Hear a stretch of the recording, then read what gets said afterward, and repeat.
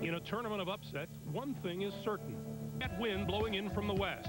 Last year, Arizona shocked the world, but now it tries to defend its national crown.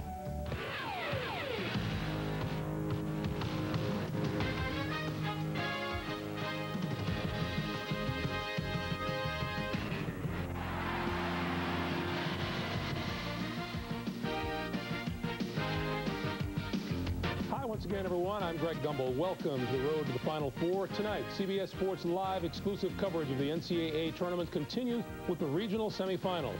We begin in Greensboro, North Carolina, the East Regional. Top seed UNC will enjoy all the comforts of home, playing fewer than 50 miles from its campus. The Tar Heels take on number four seed Michigan State.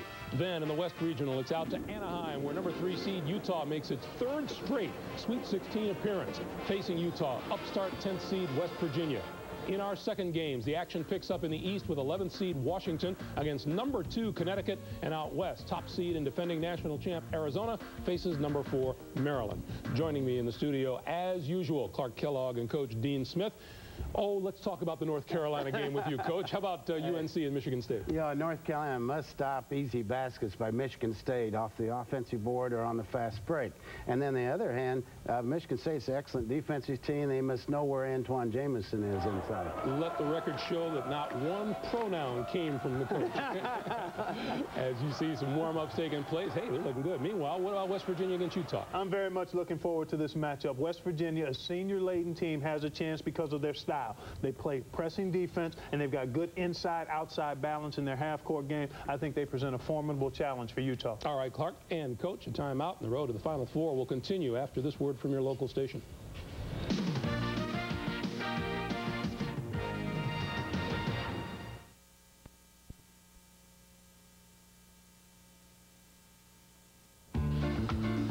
Coming up, the East Regional semifinal between Michigan State and top-seeded North Carolina. For those expecting West Virginia against Utah, we will get you to that tip at 7.55. Meanwhile, enjoy the games, everyone, here on CBS. CBS Sports exclusive coverage of the NCAA Basketball Championship is sponsored by Bud Light,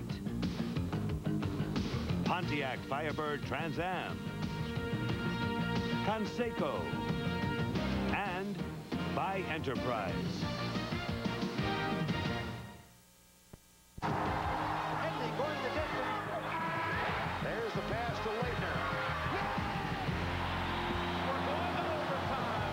Simon says championship. CBS Sports welcomes you to the Piedmont, Greensboro, North Carolina, where tonight the road to the Final Four continues with regional semifinal action in the East. In the first of two games here at the Greensboro Coliseum tonight, the number four seed, Michigan State, takes on the number one seed in the East, the North Carolina Tar Heels. Later tonight, it's the Battle of the Huskies. Washington and Connecticut, the winners advance to the Elite Eight on Saturday.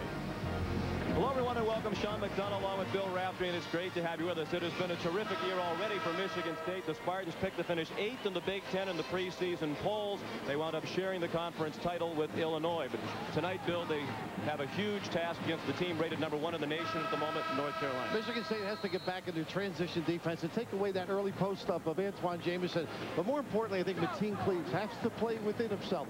Push the basketball, make great decisions as he blows by, particularly on his wing passes.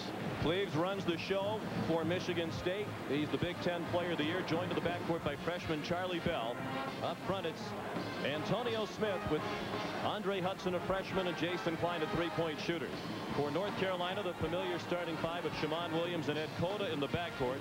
Ademola Okulaja, Vince Carter, and Antawn Jamison, the ACC Player of the Year. At the forward position, Bill Guthridge in his first season as head coach at North Carolina, 32 and 3 after 30 years as an assistant coach to Dean Smith.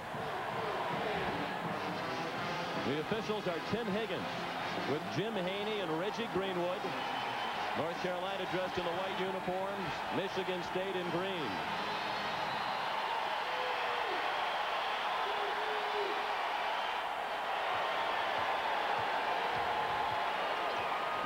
And we're underway with a bit of a hiccup. The ball missed by both Vince Carter and Andre Hudson. And this time. It's slapped out of bounds, and they'll jump it again. A little sugar and water for a double hiccup, huh? Calm them down.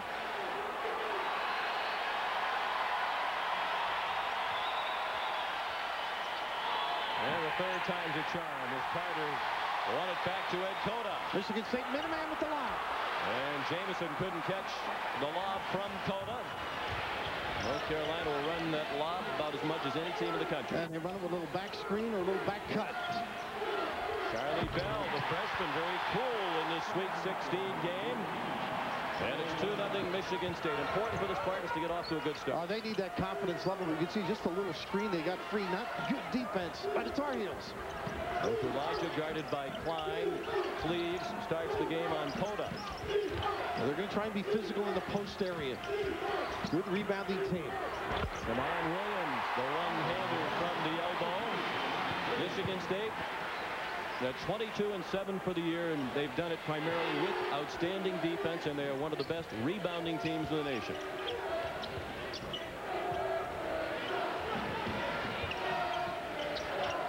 Jason Klein guarded out high by Vince Carter. And Cota is trying to keep Cleaves out of the play. Very important to limit his touches. Klein, an excellent three-point shooter. His spins out. The rebound tipped by Smith to Bell. His shot well short. Williams, nice bounce to Cota. How about that for a delayed break? You got to come up on Williams. That's that transition D. Great recognition. Little dive to the goal by Cota. And as you can hear, most of the 23,000 plus in attendance here are cheering for North Carolina. This arena is one hour's drive from the University of North Carolina campus in Chapel Hill. A little double up on Cleaves now. They got a post for him. Cleaves in trouble along the baseline.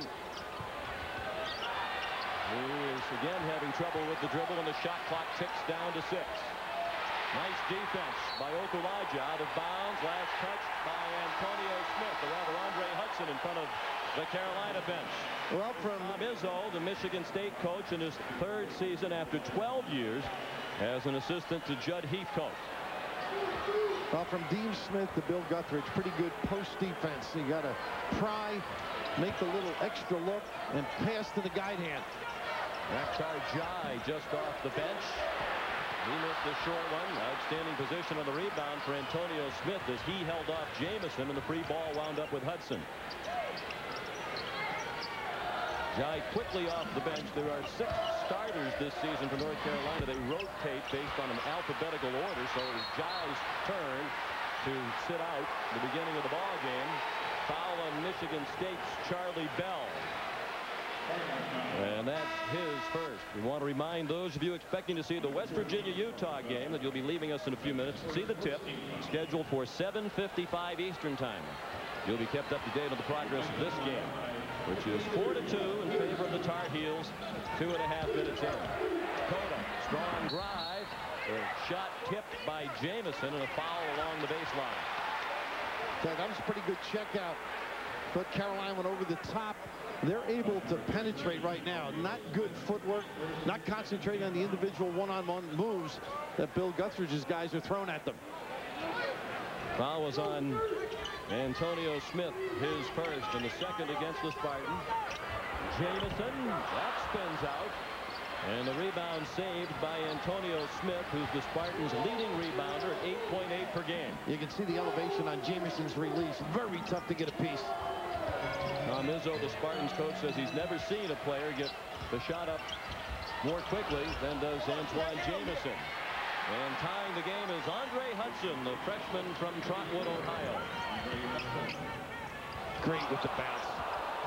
Shammond Williams picked it out to Carter. A long three, and the rebound by Cleaves, who snuck in from the guard spot.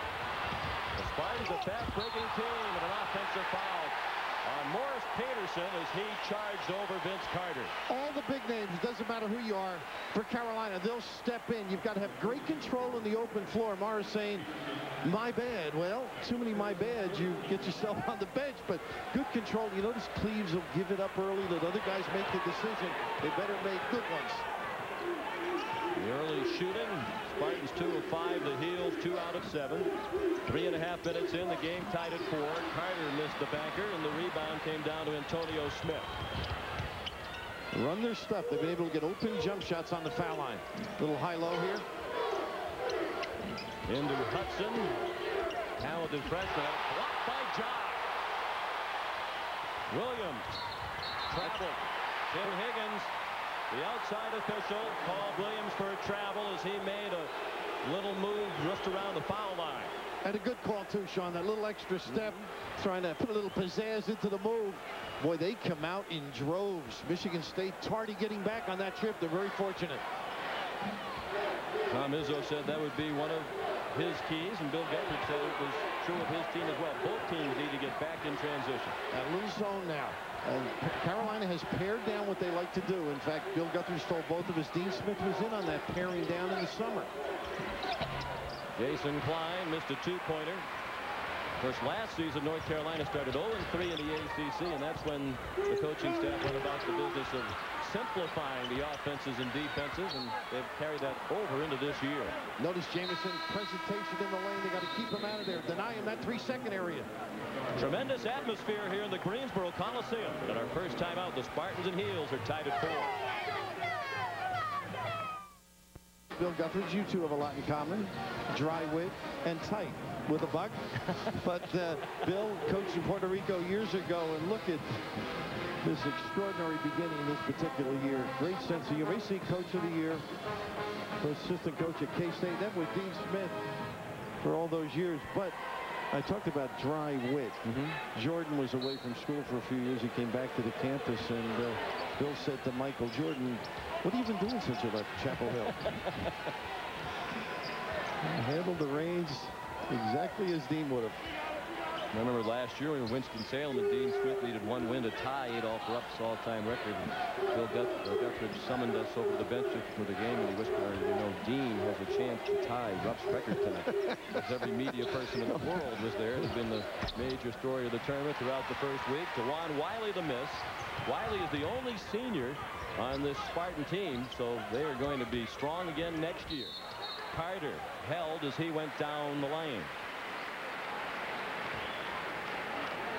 CBS Sports Line is the place to follow all the March mayhem. You'll get real-time scores, updated brackets, game previews and analysis, interviews and more. Go to keyword CBS Sports Line on America Online. Teen Cleaves called for his first foul. And by and large, Michigan State's been able to get back, get their defense set, rebound, and be solid in their judgments in the open floor. A short one off the entry pass from Williams, kept alive in the corner by Carter. Williams, the runner. He is smooth. Shammond Williams, the senior from Greenville, South Carolina. And a great play by Vince Carter to keep it alive and set it up for the guard. Williams was the MVP of the East Regional last year as the Tar Heels advanced to the Final Four. He's in the running for that award again this year. 32 points in their overtime victory in the second round against UNC Charlotte. Three-pointer missed by Morris Peterson. Uh, Bill Guthridge, perfect. The rest of the team struggling. Bill Guthridge's very impressed with Peterson.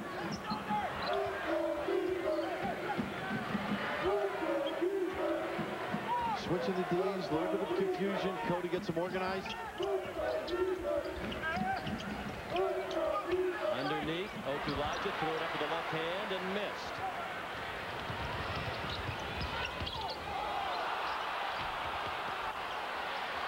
Mateen Cleaves the miss. And N'Diaye the rebound. Michigan State and North Carolina in Sweet 16 action. The East Regional semifinals from Greensboro, North Carolina. The Tar Heels lead by four. Makhtar N'Diaye with a miss. And a foul in the rebound action as Carter was sent sprawling. And the foul is on Michigan State's Jason Klein his first. And the team six, North Carolina, has been called for just one. In the second game of our doubleheader here tonight, Washington takes on Connecticut. The winners advance the Elite Eight, and they'll meet at 6 p.m. Eastern Time on Saturday right here in Greensboro. North Carolina in a little bit of a hurry. That time they had Carter with Klein. Didn't take advantage. Took the long jumper by N'Diaye. Team fouls decidedly in favor of North Carolina Has been called for only one. And Tom Izzo says a big key is uh, the way this game is called. North Carolina is not a very deep team. Carter the tip in for his first basket. Michigan State is, but Michigan State also likes to play a physical brand of defense. Uh, Bill Guthridge feels they're in great shape and go the distance, and they've proven it all year long. This is the largest lead for the Tar Heels. And an easy basket for Hudson as he broke through Jamison and Okulaja. And that's passing to the correct hand. Okulaja Gamble baseline side, good entry.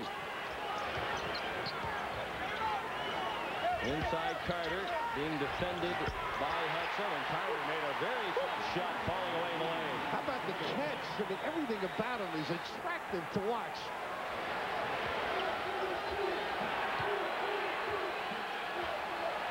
Leaves to Hudson. On the court with Klein, A.J. Granger, number 43, and Morris Peterson. Peterson, the left-hander, with the smooth jump shot. A sophomore from Flint with his first basket. And Mateen Cleaves has been solid. No bad judgments, good solid play, playing within himself. Carter starting to heat up. Another fall away. This one along the baseline. And Carter has six. Peterson quickly the other way, and he was fouled. They, they should beg for this basket, too. Tom Izzo's up, begging for it. The ability to enter the post area. You see Okulaja a little bit tardy. The nice direct pass to the baseline hand, and the rest rather simple for Andre Hudson. That was awfully close for goaltending. Yes, it was. Tom Izzo was up off the bench asking for the call. Morris Peterson, one of four players on this Michigan State team from Flint. He's out of Northwestern High in Flint. Antonio Smith back in with two fouls. He's another of the Flint natives. Andre Hudson goes to the bench. Peterson, excellent sixth man, averages eight points and three and a half rebounds. He had nine points in their opening round win against Eastern Michigan. Only four points against Princeton, but was four for four from the free throw line in the final minute 40 in a very tight game down the stretch. And I, I got he had that fractured wrist early in the year. He's come around. He can dribble the ball right, but they called him shotgun last year because of his shot selection. Good judgment all year long. One free throw by Morris Peterson. It's a five-point North Carolina lead.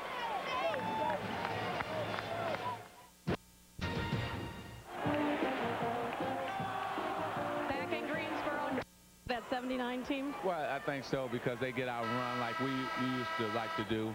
Also, um, they have a, a, good point guard who likes to push it up and create for people. Now, some, some people think that Mateen Cleaves has a little bit of your court presence. What do you think? Well, he does. He, he's smart. He, he, he, controls the team. He controls the tempo. And um, this team is amazing to be as young as, that, as they are. They really uh, come together well.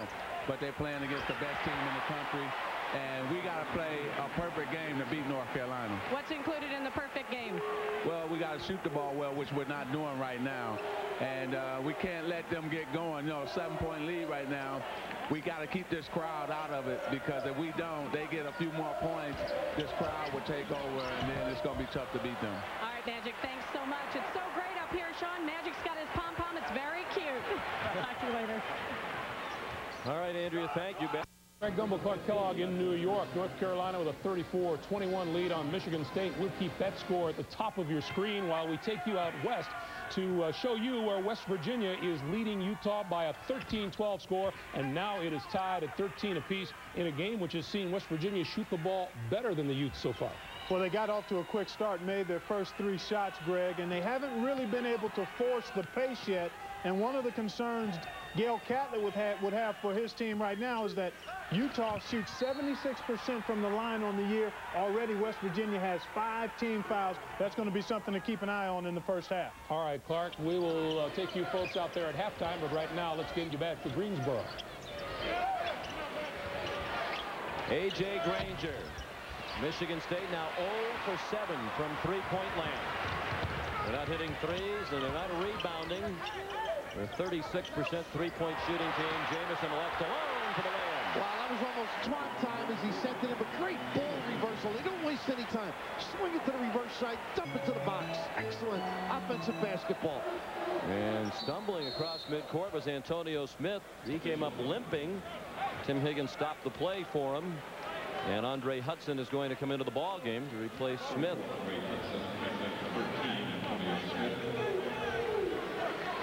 Just extraordinary feel for the game as they get it around the horn, showing the dump down. The defense couldn't even react. Started with Shammond Williams with a down and through with the bounce, and then a kick.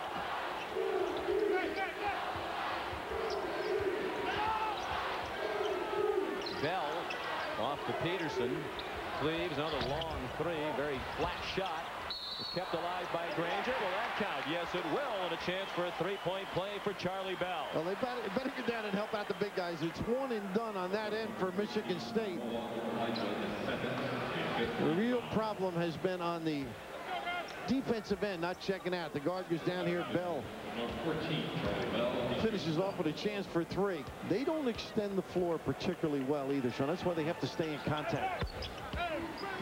Bell has five. He had a career high 22 points in their first round win over Eastern Michigan. That came on Charlie Bell's 19th birthday. Down to a minute and a half left in the first half. North Carolina by 12. Carter. Amazing. Jamison won the rebounding battle over Hudson. They do a great job getting to the weak side box. Nice screen across. Established Jamison there. He waited for the jump and the miss. Well, Izzo felt that Jamison was over the back. Jamison has scored the last eight points for the University of North Carolina. Hudson too hot to handle for Granger. Cleaves bounce intercepted by Jamison. And how about the patience, too? He looked up, he had Williams, saw the defense react, held on. 20-second timeout called by the Tar Heels.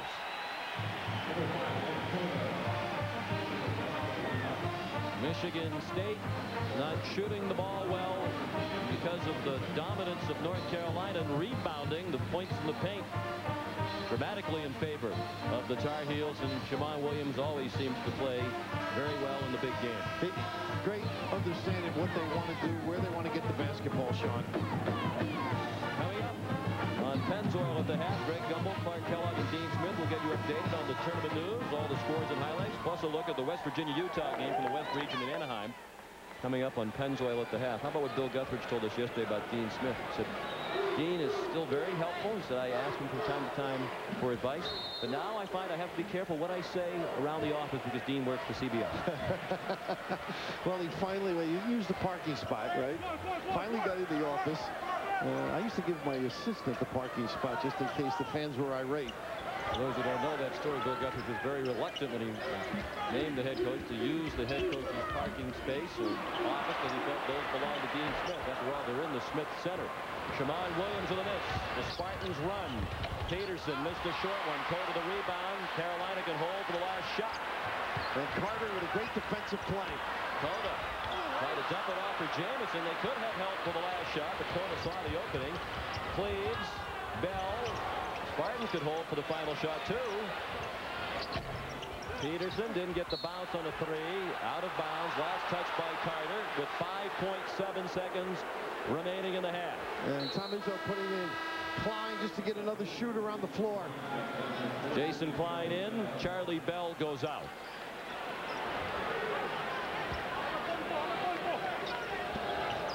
Try and get it into Cleaves' hand to make some decision. Klein took a look at the clock. Desperation three wouldn't go. They did not make a single three in the first half. Over 10, the Spartans from three-point land in the first 20 minutes. At the end of the first half, the score, North Carolina 38, Michigan State 24. Greg Gumbel, Clark Kellogg, and Dean Smith will be along with Pennzoil at the half right after this message and a word from your local station. Pennzoil, specially formulated for today's stop-and-go driving. Stop, go, Pennzoil. Welcome once again to Pennzoil at the half, everyone. Greg Gumbel, Clark Kellogg, Dean Smith at halftime. It is a 38-24 uh, lead for North Carolina, and it would appear the Tar Heels coach are doing a lot of good things out there in the first half. North Carolina is doing a very good job rebounding. I know they were concerned about Michigan State's rebounding, and also uh, they're playing more zone than usual against this Michigan State uh, team. All right, let's talk about the telestrator play that you have picked out for us. Uh, you'll see Carter with the ball on the far side as he has the ball, and immediately, you'll, as he passes it back, we'll get a cross screen here. Four will screen that man in the zone, and then you'll see the pass gone on around to five. And now, five will then throw it to Carter going off the screen. You'll see the screen. here comes the screen, and then right there, and then a pretty pass there. And how long has this play been in the Carolina playbooks? 82. Guy named MJ. Okay, Clark. And it still works. They're dominating action in the paint, and they're keeping Michigan State out of transition opportunities. Michigan State 0 of 10 from behind the three-point line. All right. Meanwhile, in uh, the other game going on at the moment between West Virginia and Utah, 6-10 to play in the first half, and Utah has come back to take a three-game lead. They're the biggest U in the world, Clark. Brian Lewin. Here he is inside. West Virginia got off to a quick start, made their first three shots.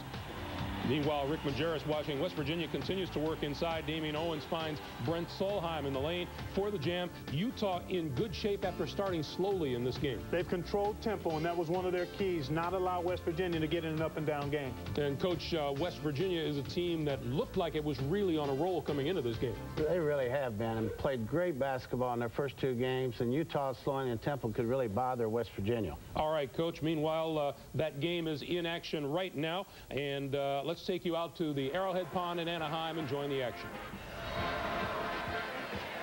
6-10 to go in the first half of play. Utah leading West Virginia by three. Good ball game, Gale Catlett trying to get his ball club to score more points.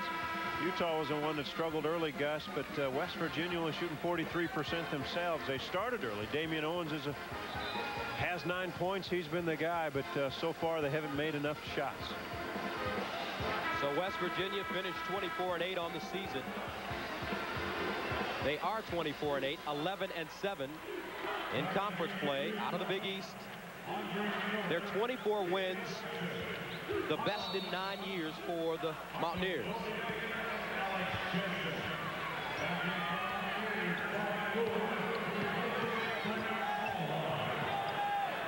Down by three, Pledger to Goree, along with Lewin, Owens, West, backdoor West, and he missed the chippy, and it's snatched down by Doleac. It's about the third layup this Mountaineer ball club has missed. Cross court, Miller got the step down the baseline. What a good pass across the court by Jensen. Utes go up by five. Lewin calling for it. Guarded by Doleac. Pledger. No look pass. Goree with the two-hand jam. I think the Mountaineers, Gus, can continue to beat Utah off the dribble. What that does is bring weak side help. They're freeing themselves up and making good passes for easy two. Miller up the sideline. Nice layoff for Jackson and the easy bucket. When it's in Miller's hands, it's usually pretty good. So Andre Miller gives it up to Jackson, 27-22. Great pace in this basketball game. Pledger down the lane and the kind roll.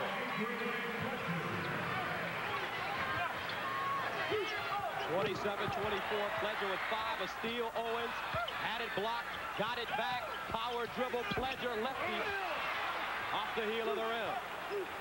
Opportunities are there. Eight turnovers now by Utah. Bounce pass, Jackson, and a whistle jump ball is the call. We stay on this end. Well, West Virginia, here's the, the dribble, the penetration, the help, the nice pass, and the easy finish by Goree. And the Microsoft data bank. Utah, which lost in the first round of the 1994 NIT, received a bid to the NCAA tournament after Arkansas withdrew because of a car accident, and that was their first NCAA title. Meanwhile, Doleac buries the jump shot. He has eight points, 29 to 24. Greg Jones. Solheim forces it up. Blue collar goes to work on the offensive glass. Senior from Rochester, Minnesota. Doleac, great catch to the bucket and the lay-in. I thought the pass was a little high, but you made the point. Great catch, good hands by Doleac. 31-26. Doleac's perfect on the night. Three of three from the field, four four from the foul line. He has 10 points and six rebounds early in this ballgame. Kearse. Solheim steps back. Rebounded inside by the Utes. Miller. Lost it. Outlet pass. Here's Jones. He's got a trailer with him. Foul Kearse to the hole and in. Good pass, good decision by Greg Jones. 31-28. And I tell you what, John, if you're not in shape, don't step on the floor for this one. This is back and forth like a tennis match. Utah, the thing they're doing more successfully now is throwing over the top of that press and getting better looks on the offensive end. Pump fake. Hansen. They reverse it. Mottola. He can hit it. And a good block out by Solheim, but he throws it away. And players look tired, Gus. Out of bounds. And it was last up by the Mountaineers. Gale Catlett thought that ball was off Doleac's fingertips. He will not get that call, though.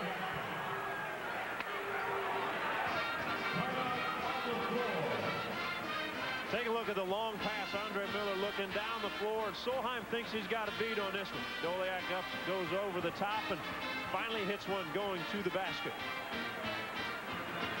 Here's the defense by West Virginia. 2.46 to go. 31-28 Utah.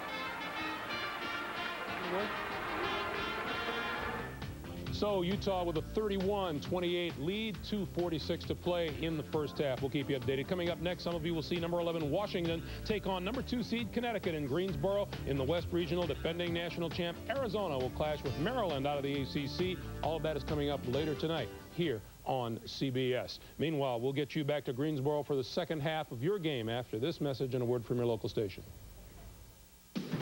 Pennzoil at the Half has been sponsored by Pennzoil, specially formulated for today's stop and go driving. Stop, go, Pennzoil.